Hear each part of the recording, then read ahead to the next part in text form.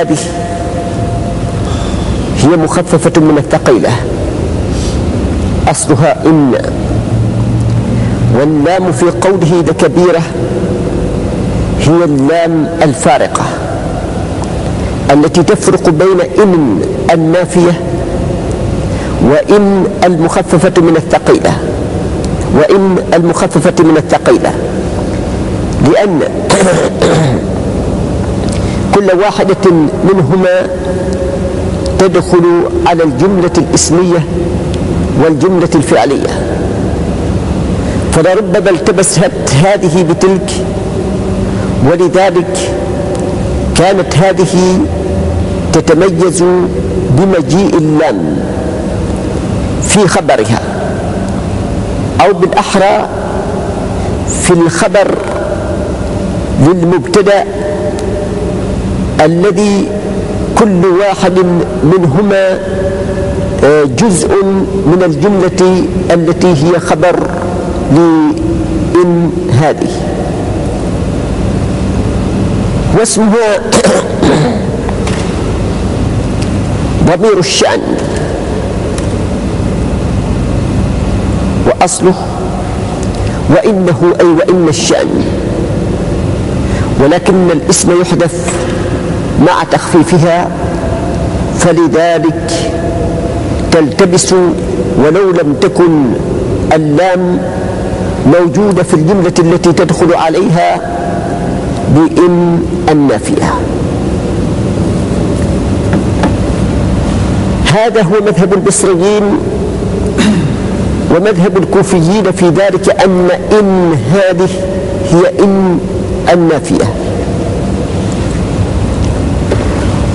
واللام بمعنى إلا ومعنى ذلك آه وما كانت إلا كبيرة إلا على الذين هدى الله. كما يقولون أيضا مثل ذلك في قوله سبحانه وتعالى إن كل نفس لما عليها حافظ. ومجيء اللام كأداة للاستثناء مما لم يثبت. ولذلك كان المذهب البصري هو المذهب الصحيح في هذه المسألة. كانت اسم كان على الصحيح هو الضمير الذي يعود إلى القبلة. ضمير عائد إلى القبلة لأن القبلة هي التي ذكرت من قبل. أي وإن كانت القبلة التي كنت عليها لكبيرة إلا على الذين هدى الله. والصحيح أن كونها كبيرة يعود إلى ما ذكرته في الدرس الأول. الدرس السابق على هذا الدرس من كون القبلة التي وجه إليها رسول الله صلى الله عليه وسلم من بعد وهي الكعبة المشرفة كانت ذات مكانة في نفوس العرب. فتحويلهم عنها حتى يتجهوا إلى بيت المقدس إنما كان لأجل اختبار إيمانهم بجانب ما ذكرته أيضا من الحكمة في ذلك. وهي احتواء هذه الأمة لمقدسات النبيين وأممهم من قبل لأنها وريثة لهداية الرسالات السابقة.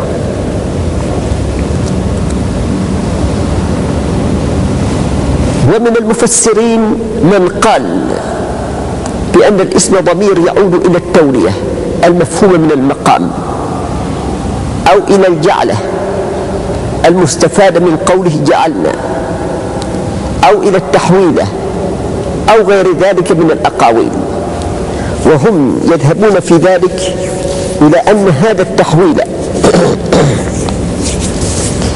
الذي حوله رسول الله صلى الله عليه وسلم والمؤمنون عن القبلة الأولى كان أمرا كبيرا على نفوس الناس بسبب تلبيسات اليهود والمنافقين فكان أمرا شاقا على الناس إلا على الذين هدى الله وهم الذين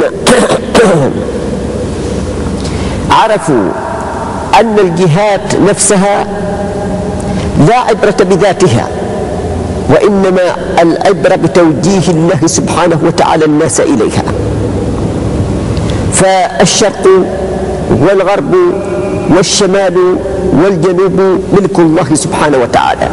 فلله المشرق والمغرب ولله الشمال والجنوب ولله كل جزء في الأرض أو في السماء وإنما الله سبحانه وتعالى يوجه عباده إلى حيث يشاء بحكمته وعدله وعلمه وإلا فالجهات من حيث ذاتها لا فضل لبعضها على بعض إلا بما يجعل الله سبحانه وتعالى فيها من الفضل.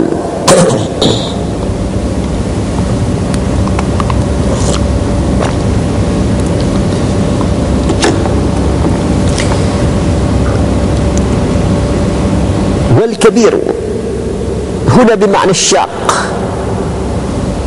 كما في قوله تعالى وإن كان كبر عليك إعراضهم. وقوله كبر على المشركين ما تدعوهم إليه. فالمعنى في كلتا الآيتين بمعنى شق. أي وإن شق عليك إعراضهم وشق على المشركين ما تدعوهم إليه.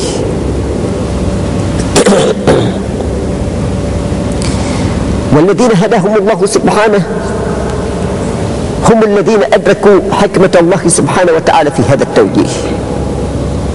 وذلك أنهم عرفوا أن كل شيء من ذلك بحكمة. علمها الناس أو جهلوها.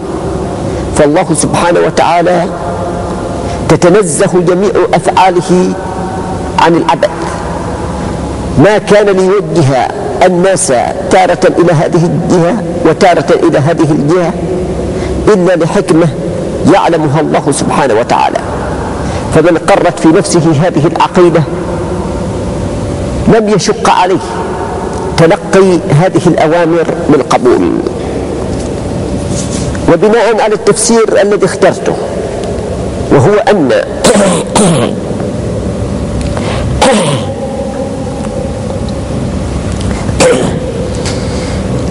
وهو أن المقصود بالمشقة الحاصلة من القبلة السابقة هي صرف العرب عن البيت الحرام القبلة التي ألفوها والجهة التي كانوا يعظمونها من قبل ويتوجهون إليها في حجهم. آه، بناء على هذا التفسير فإن الذين هدى الله سبحانه وتعالى هم الذين أدركوا أن الله سبحانه وتعالى أراد أن يخلصهم من أكبار الجاهلية بحيث يتلقون تعظيم البيت الحرام من وحي الله سبحانه وتعالى لا من تقاليد الجاهلية التي ألفوها. وعلى قول الأكثرين من أن المقصود بكونها كبيرة أي الصرف عنها كبيرة بعد ما وجهوا نحوها بسبب التلبيسات التي كانت من قبل اليهود والمنافقين بناء على هذا القول.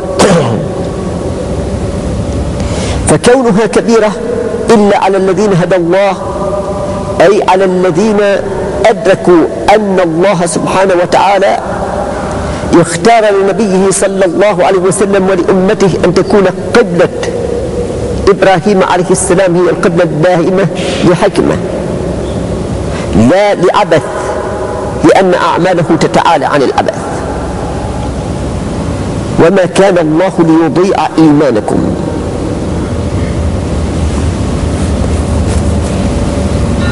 أكثر المفسرين قالوا بأن الإيمان هنا بمعنى الصلاة. واستندوا في ذلك إلى الحديث الذي أخرجه الشيخان عن البراء بن عازب رضي الله عنه أن الذي كان قد مات قبل أن يوجه رسول الله صلى الله عليه وسلم إلى القبلة آه، رجال قد قتلوا.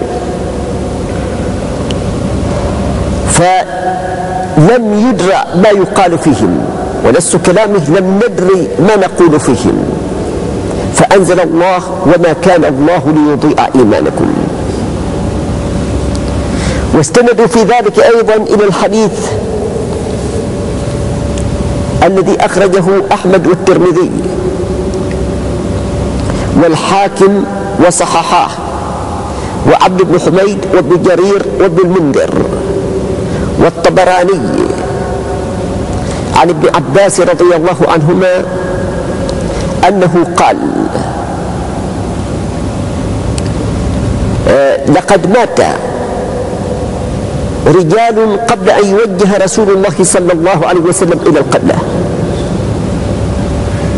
فجاء إلى رسول الله صلى الله عليه وسلم جماعة وقال له يا رسول الله كيف صلاة إخواننا الذين ماتوا قبل أن يصلوا إلى البيت الحرام؟ فأنزل الله وما كان الله ليضيع إيمانكم. وقد جاء في رواية ابن ماجه عن البراء بن عازب أن رسول الله صلى الله عليه وسلم هو الذي سأل جبريل عليه السلام كيف حال صلاتنا إلى بيت المقدس؟ فأنزل الله وما كان الله ليضيع إيمانكم. وملخص ذلك أن المسلمين بقوا في حيرة من أمرهم. في الصلاة السابقة التي كانوا يصلونها إلى بيت المقدس. هل هي صلاة صحيحة ثابتة بعدما نسخ الاتجاه إلى المسجد الحرام؟ أو هي صلاة ليست ثابتة وأنهم يلزمه يلزمهم أن يقضوها أو أن الاتجاه إلى البيت الحرام آه، يسد مسد قضائها فبقوا في حيرة من أمرهم في صلاتهم أنفسهم وفي صلاة الذين ماتوا قبل أن يوجه المسلمون في صلاتهم إلى البيت الحرام. وكما جاء في رواية البراء أن هناك جماعة قتلوا قبل أن يوجه المسلمون إلى البيت الحرام. وهذه الرواية ذكر ابن عاشور بأن فيها إشكالا وذلك لأن القتال لم يشرع إلا بعد توجيه الرسول صلى الله عليه وسلم والمؤمنين إلى البيت الحرام. وهذا بين. فإن اتجاه المسلمين إلى الكعبة المشرفة كان قبل غزوة بدر بشهرين على القول الصحيح وقيل غير ذلك.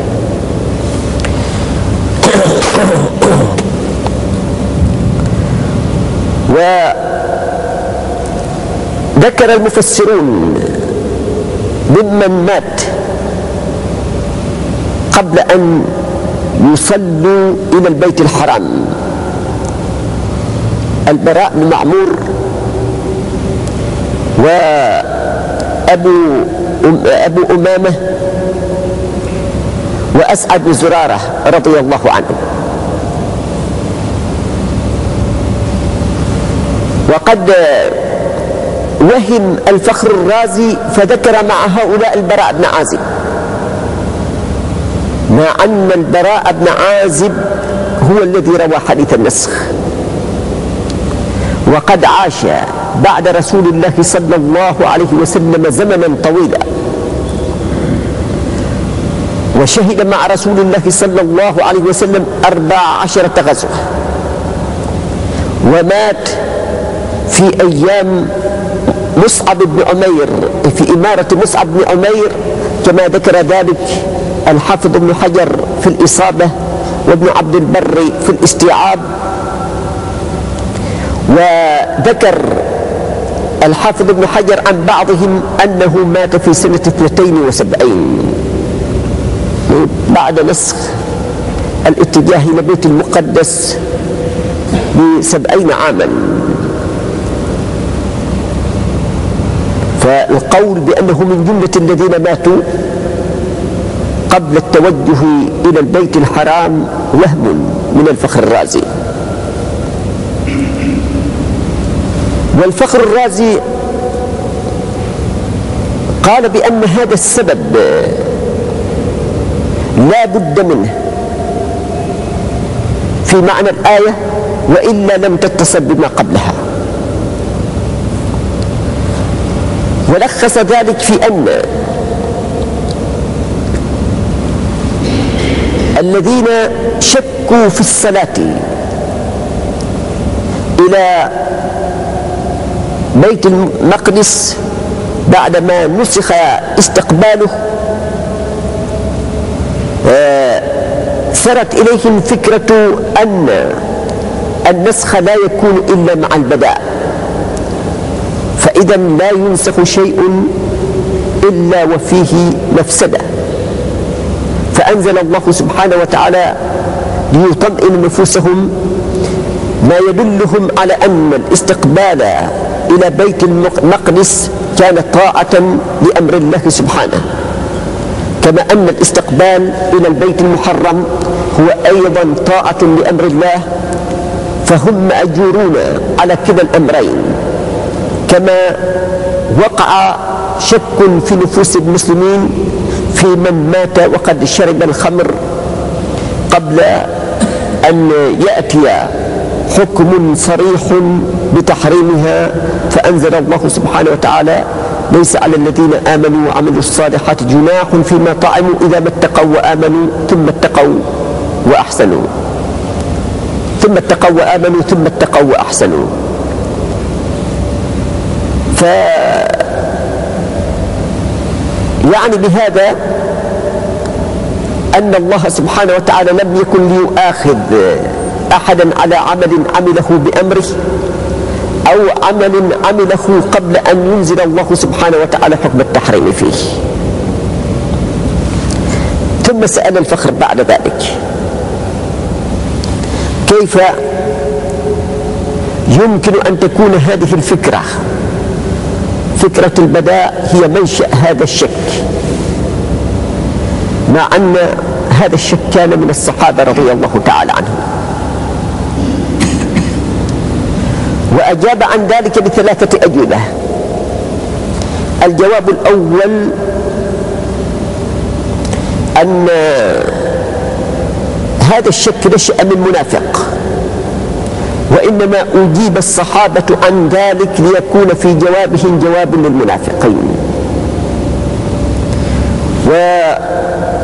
والجواب الثاني أن الصحابة بعدما اتجهوا إلى البيت الحرام أدركوا أن اتجاههم إليه أفضل من الاتجاه الأول إلى بيت المقدس فتمنوا أن يكون هذا الفضل لإخوانهم. والجواب الثالث أن الله سبحانه وتعالى أنزل هذا الجواب حتى لا يخطر على نفوسهم شيء من هذا الشك. وكلامه هذا ينقض آخره أوله. فإنه ذكر أولا أن هذه الآية لا يمكن أن يستوضح معناها وتتصل بما قبلها إلا بالنظر إلى هذا السبب. والكلام الأخير سكت فيه عن السبب. الإجابات الثلاث التي ذكرها فيها سكوت عن ذلك السبب وفيها أيضا منافاة للسبب حسب رواية ابن عباس وحسب رواية البراء رضي الله عنهما. في هذه الإجابة منافاة لتلك الروايات. لأن رواياته أن دلت على أن الصحابة شكوا في صلاتهم أولا إلى بيت المقدس فجاءوا ليسألوا رسول الله صلى الله عليه وسلم فنزلت الآية حتى تطمئن نفوسهم في كون تلك الصلاة صحيحة وأنهم مأجورون عليها.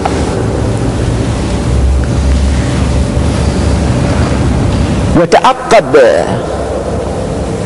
أبو حيان الفخر الرازي في كلامه بأن الآية متصلة بما قبلها مع غض النظر عن هذا السبب. سواء قلنا بصحته أو لم نقل بصحته. فإن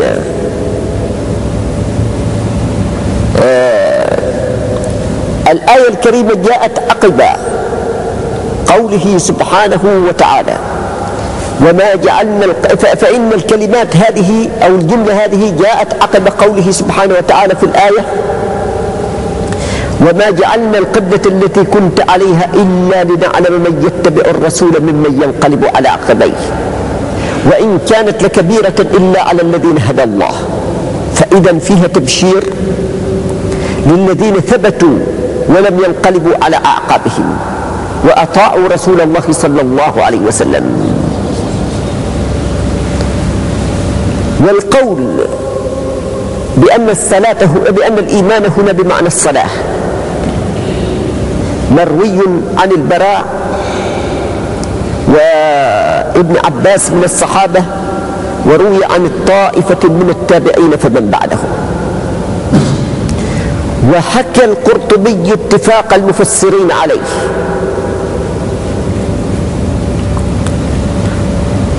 ومن دواء الاستغراب أن القرطبي حكى اتفاق المفسرين على أن الصلاة بمعنى الإيمان وأن الحديث وأن الحديث المذكور الذي رواه براء ورواه ابن عباس هو السبب في نزول هذه الجملة من الآية.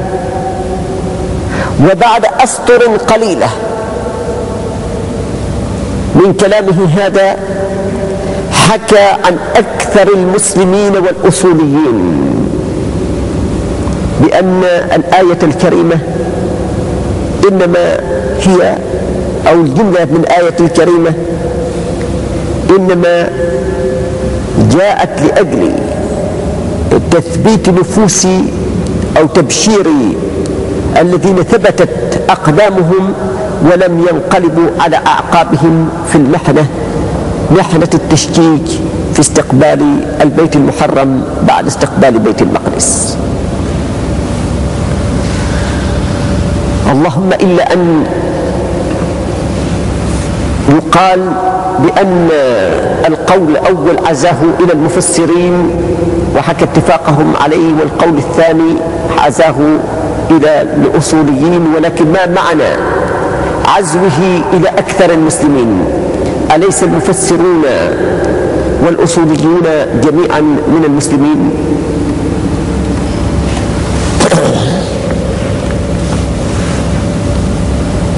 وذهب بعض المتقدمين هو الذي صدر به الزمخشري وتابعه عليه أبو السعود أن الإيمان هنا هو على حسب معناه المعروف وهو التصديق والثبات.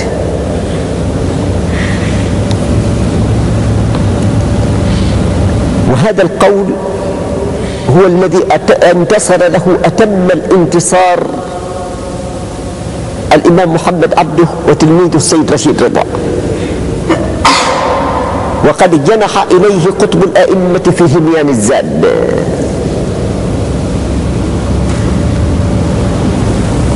والإمام محمد عبده يقول بأن تفسير الإيمان هنا يتعين بأن يكون بمعنى العقيدة والثبات عليها. وبهذا يتفق ما في هذه الجملة مع ما في الجمل السابقة. أي بهذا يتناسق ما في سياق الكلام ما في سياق الآية الكريمة. ومعنى ذلك أن الله سبحانه وتعالى بعدما ذكر الذين يرتدون على أدبارهم على أعقابهم فينقلبون عن اتباع الرسول صلى الله عليه وسلم بسبب القبلة السابقة أو بسبب التحويل عن القبلة السابقة. آه الآية الكريمة تشير إلى أن لهم وعيدا. إلا لنعلم من يتبع الرسول ممن ينقلب على عقبيه فإن علم الله سبحانه وتعالى بالمعصية وخصوصا إذا كانت هذه المعصية ردة يترتب عليه أن يعاقب هؤلاء العصاة. وخصوصا إذا كانوا مرتدين. و كذلك علم الله سبحانه وتعالى بطاعة الطائعين يترتب عليه أن يثيب هؤلاء الطائعين.